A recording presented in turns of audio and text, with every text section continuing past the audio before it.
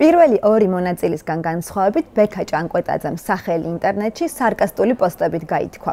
გამორჩეული იუმორის გრძნობის გამო მისი პირადი გვერდები დიდი პოპულარობით სარგებლობს. მოკლედ Facebook-ზე და Instagram-ზე ერთ იგივე სახელით ვარ, ანუ ბექა ჭანკვეტაძით, განსხვავებული ნიკი არ მაქვს. არც ზედმეტ სახელი.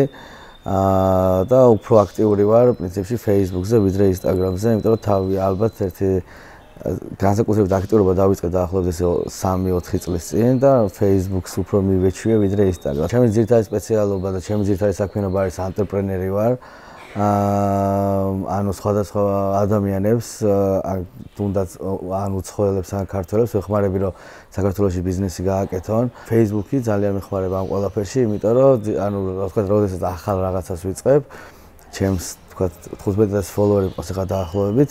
ანუ ერთი ჩემი პოსტით იციან რომ თქვა რაღაც ახალი რაღაცა შეიქმნა. ანუ ხუმრობ. და ძირითადად წერ ანუ ანუ რაღაც პრობლემაზე ძირითადად სარკაზ სარკასტულად უყურებ ყველაფერს.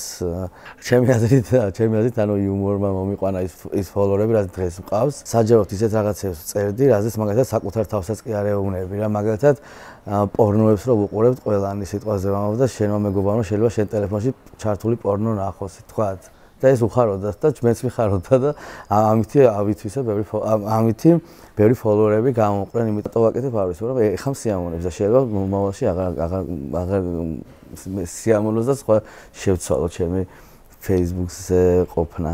ხო კომერციული დატვირთვა ანუ არასდროს არ მიმიცია ჩემი Facebook-ისთვის მიხედავთ ისე რომ ძალიან ბევრი შემოთავაზებები ყოფილა. და ჩემი Facebook-ს ვიყენებდი ანუ აი ამ ჩემი აზრით სწორი აზრისთვის და ასევე ჩემი რაღაც ბიზნეს ჩემი საქმიანობებისთვის რომელიც სულსაც მე ვაკეთებდი. ეხლაც მაგიტო გამოვიყენე რომ ეს მომგებიანი იქნება ჩემი საქმიანობისთვის ასევე მისთვისაც და გვაწყობს ყველას.